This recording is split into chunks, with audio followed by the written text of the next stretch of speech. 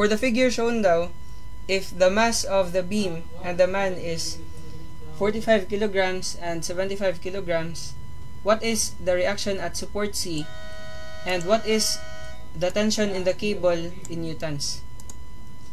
So to analyze this problem, uh, di natin alam ano yung ginagawa niya pag uh, if, if we will release the cable, matatapon na siya.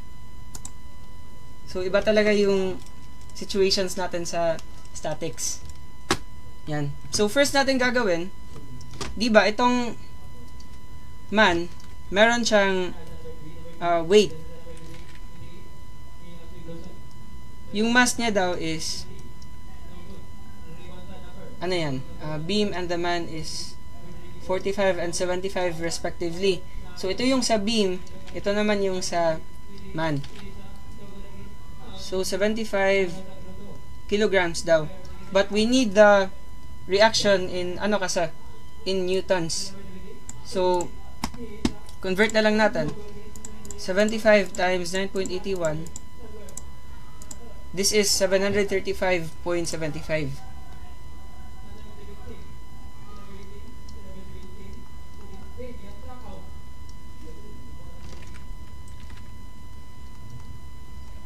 Yan. And then yung weight naman ng beam, it acts sa center. So this is 45 multiplied by 9.81.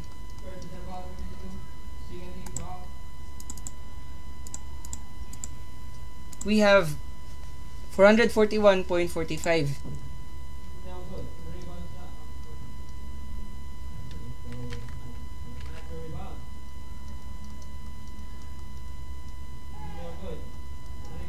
newtons. Yan. So, itong uh, man natin, meron siyang uh, net downward force pa rin. But first, let's first, uh, let's analyze kung ano yung internal force na nag-act dito. Ito muna yung i-consider natin. Yan. Yung portion na yan. So, pag i-draw natin yung tao ulit, paano ba? Ah, ito na lang. Uh, di ko na lang i i-draw talaga. Yan. Yan yung tao. So, ito yung surface. Uh, wait lang. Yan. Yan yung surface. Internally, meron tayong reaction na normal force. Kasi nakapatong siya dyan. So, sabihin natin, ito yung normal force ng man. So, NM. And then, meron siyang weight na 735.75 newtons. So, ano ba yan? W.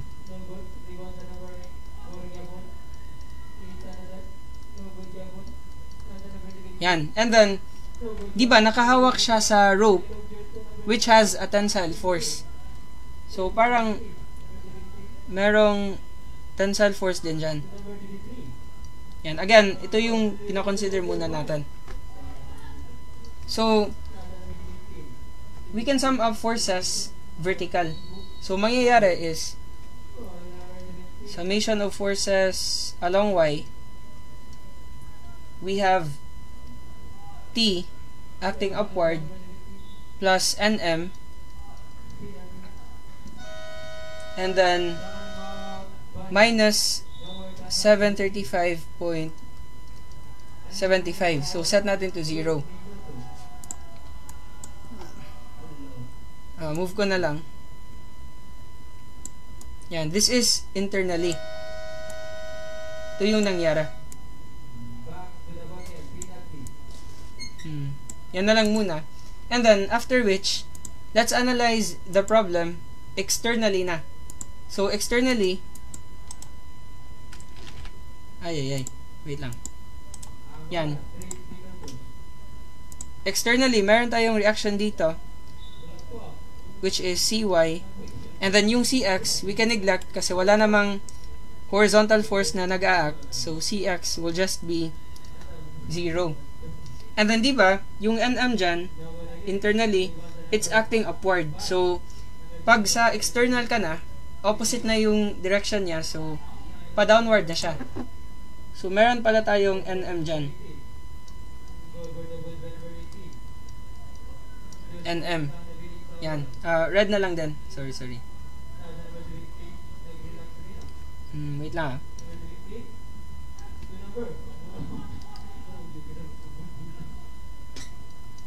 Yan, meron tayong NM.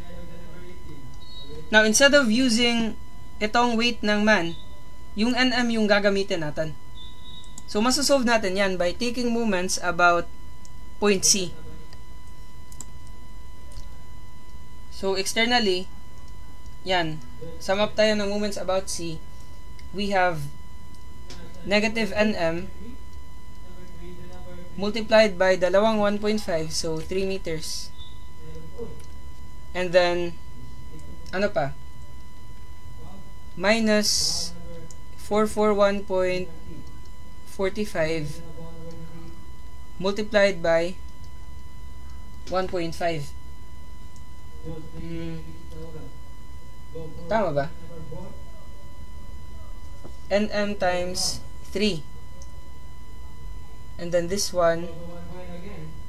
And then don't forget na meron ka ding, ah, di ba, tension man yan, tensile force. So, meron niyang T. Dito rin. Pag ikakat mo yan. Now, yung tension force, it runs across the cable. So, meron din palang tensile force dito. Yan. Gawin natin T. So, rearranging this equation, uh, ito, we can say that the tension force is 735.75 minus nm. Diba? So, sulat natin. Yan. And then, isasali natin to sa uh, pag-sum pag up natin ng moments about C. So, this will cause a clockwise rotation about C. So, plus. Then, 735.75 minus nm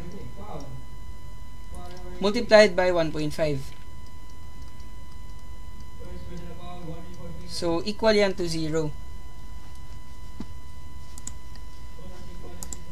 So, negative 3x minus 441.75 times 1.5 plus 735.75 uh, parenthesis pala. Minus nm times 1.5 equals 0 so solve natin yung nm we have 98.1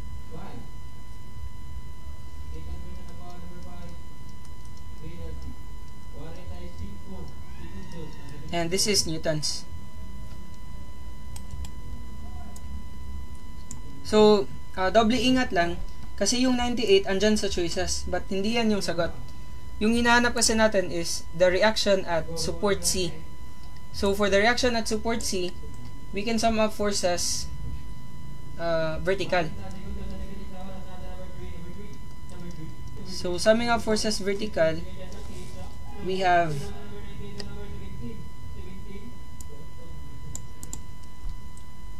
minus nm so minus 98.1 and then plus this one 441.45 I mean minus pa din pala.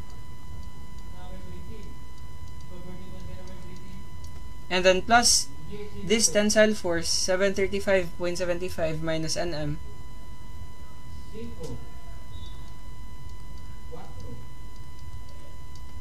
hmm, parang magka-cancel lang lahat.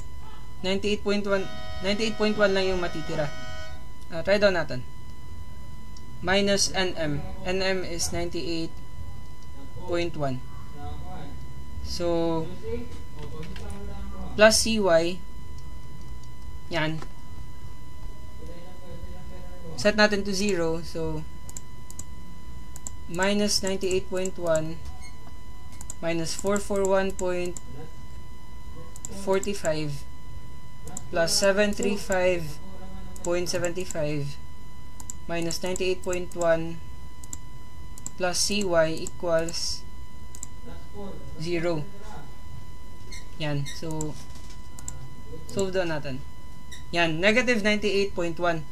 Now, negative yung sagot. So, ibig sabihin, downward pala yung reaction natin. Mali yung assumption. So, cy equals negative 98.1 newtons and then acting downward. Yan. So, bakit kaya acting downward? Di ba? Yung mass ng lalaki, mas uh, mas malaki siya kaysa sa mass ng beam. So, ibig sabihin pala, magro-rotate yung beam natin pa ganyan. So, kaya, uh, medyo iba yung reaction dito. Kaya downward siya. So, negative 98.1. And then, ah, ito pala, ito lang din pala yung sagot. Yan, letter D lang din pala. Now, the next question is, what is the tension in the cable in newtons? So, gagawin natin, let's solve T. Alam na kasi natin yung NM. So, T is 735.75 minus 98.1. So, ano yan? 735.75 minus 98.1 we have 637.65.